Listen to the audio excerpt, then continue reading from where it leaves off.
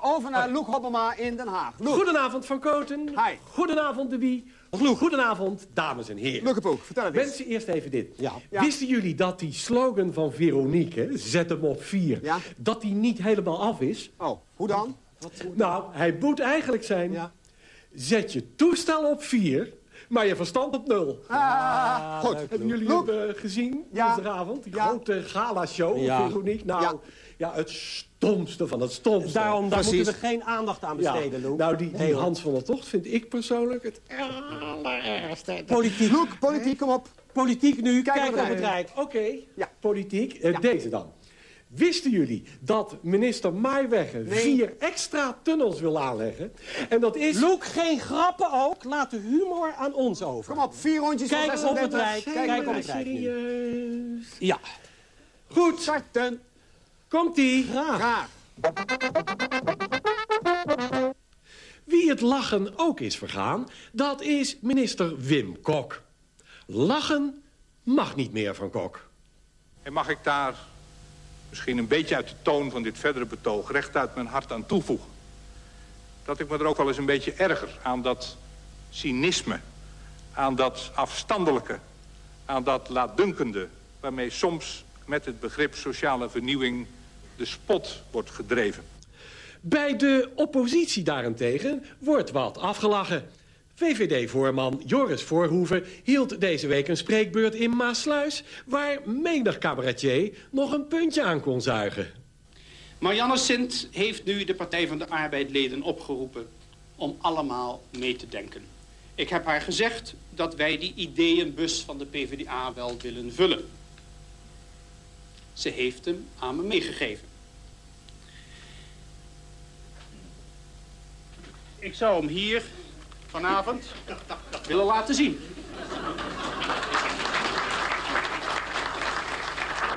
En we praten hier in Maasluis nog even na met de bedenker van die grap van de ideeënbus... en dat is VVD-bestuurder Masboom. Meneer Masboom, hij kwam wel aan, de grap. De zaal ging eh, volkomen uit de bol. Dan moet ik erbij zeggen dat Joris hem ook voortreffelijk plaatste. Hij wachtte precies op het goede moment. Hij dook toen weg. Je voelde de mensen denken, wat krijgen we nou? En hij duikt weer op, knal met die ideeën. Dus bingo. Hoe komt u nou op zo'n idee, een ideeënbus? Ja, een kwestie van, van, van heel goed nadenken. Grap bedenken is gewoon hard werken. Ik heb al enige ervaring in dat veld. Ik begin altijd al in september met de Sinterklaas surprises bijvoorbeeld. Ik had het basisidee van de ideeënbus eigenlijk vrij snel. Toen had ik binnen een week ook het rijmpje, een hint voor Sint. Toen heb ik een prullenmand genomen en die beplakt. En dat was dus de ideeënbus. En die liet ik aan Joris zien en Joris ging meteen eh, uit zijn dak. Ja. Brandende vraag, wat zat er nou eigenlijk in, in de ideeënbus? Alleen proppen papieren. En daarbovenop lag een knotrode wol. Een trui voor Marianne Sint, was het idee. Achter dat idee van de ideeënbus. Maar er zaten dus geen politieke ideeën in. Uh, Voorhoeven zei, uh, we willen helpen met ideeën. Liet vervolgens een volle ideeënbus zien. Ja. Maar er zaten geen politieke ideeën in. Nee, het ging om het, om het idee van de ideeënbus. Dat was de grap. Maar heeft de VVD wel ideeën? Nou, ik geloof niet dat die vraag relevant is. In, in- Heeft de VVD ooit wel ideeën gehad? Ja, daar heb je het nou weer. U heeft dus geen gevoel voor VVD-humor, hè? Fijn, dank u wel. De haast waarmee bondskanselier Kool tot één groot Duitsland probeert te komen... zijn weigering om Nederland te laten meepraten... het niet garanderen van de Oder-Neisse-grens met Polen... wat moeten we daar allemaal van denken? En dat vraag ik aan de Duitslanddeskundige Dr. Klavan. Ja, als nagaat, meneer Hoppema, dat de heer Kool nu eh, een ongelooflijke haast aan de dag legt om tot één groot Duitsland te komen. Dat eigenlijk alleen de vier grote mogendheden daarover mogen meepraten. Nederland heeft niets in het geheel te zeggen. Dat de heer Kool ook in zijn arrogantie weigert om te zeggen... dat hij niet zal tornen aan de Oder-Neisse grens met Polen. Nou, dat is allemaal van verschrikkelijke brutaliteit. En we moeten echt een vuist maken. Want de heer Kool is een typetje. Als hij die één vinger geeft, dan pakt hij allebei je handen. En die staat er nog in de boeien ook. En het is momenteel bijzonder gevaarlijke, brutale apenkool... wat eh, de bondskanselier eh, uitkraamt. Maar kunnen wij als Nederland een vuist maken? Ik dacht dus wel dat we als Nederland een vuist kunnen maken. Ik heb het uitgezocht van de week, een beetje uitgeplozen. Het is namelijk zo, meneer Hobbema, dat in het jaar 1000 hadden wij in Nederland het graafschap Gelre. En er kwam later Oppergelre bij. Maar Oppergelre werd in 1200, ziet u op het kaartje, werd het Duits.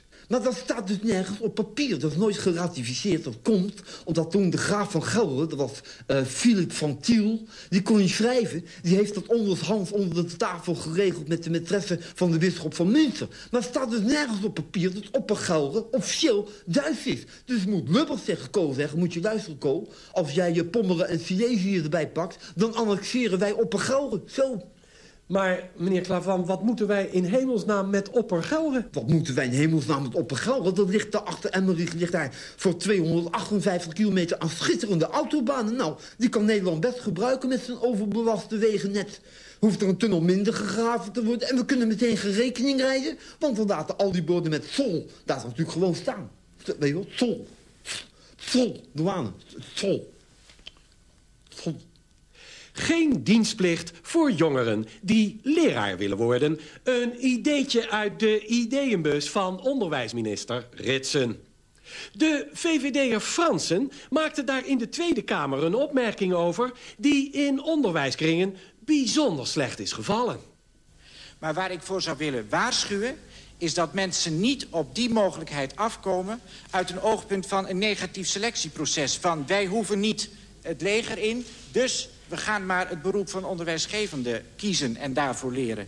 We zitten, mag ik het een beetje scherp zeggen, maar ik bedoel het wel omdat het ook in het verleden de oorzaak is geweest van een negatieve, eenzijdige beeldvorming. We zitten niet op een nieuwe horde geitensokkenvolk te wachten. Nou ja, die Franse begrijpt gewoon niets van de tijdgeest. Die denkt dat het nog positief wordt ervaren dat men in dienst moet. Ja. Begrijpt u niets van? Het volkomen andersom. Negatieve selectie noemt hij dat. is onbegrijpelijk. Onbegrijpelijk. En ook zo beledigend. Het is zo beledigend. Nijpels, toch een partijgenoot van de heer Fransen, dacht ik... heeft toch al een jaar geleden gezegd in verband met het milieu... de geitenwolle sokkendragers hebben gelijk gekregen. En dan komt Fransen nog een keer eroverheen en zegt... het is negatieve selectie. En we zijn wat uitgelachen, hoor, in de oh, jaren zeventig. Oude hippie ouwe maar we hebben ze altijd aangehouden. Geen dag uitgetrokken. Precies. En nu vragen de kinderen aan mij. Meester, u bent toch niet in dienst geweest? En nu kan ik zeggen volmondig, nee, natuurlijk niet. En de meester komt op de fiets naar school. En de meester eet een boterham met kaas tussen de middag... met zijn geitenwolle sokken aan. Heeft u een mooie trui, meester? Ja, heeft meester zelf gebreid. En de meester rookt geen sigaretten met zijn geitenwolle sokken aan. Zeker niet op school. Nee. En als jullie lief zijn, dan zal meester straks met zijn geitenwolle sokken aan... op de gitaar meneer de president spelen van Boudewijn de Groot. Daar hunkeren ze naar de Precies. kinderen naar de geitenwolle sokken Dat is ook het goede. Het komt uit de kinderen zelf voort. Het komt altijd uit de kinderen zelf voort. En het is gewoon één rechte lijn... Boven tijd. Van de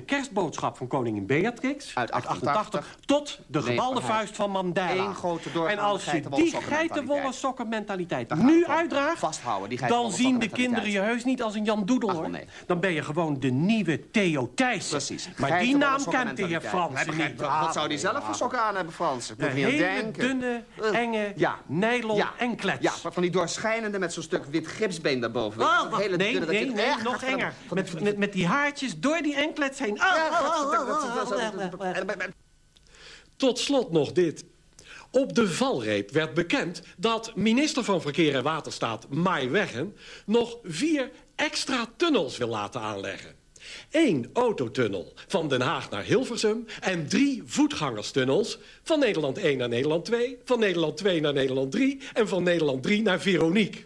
En deze tunnels mogen uitsluitend worden gebruikt door... ministers van Verkeer en Waterstaat. Dit was Kijk op het Rijk. Goedenavond.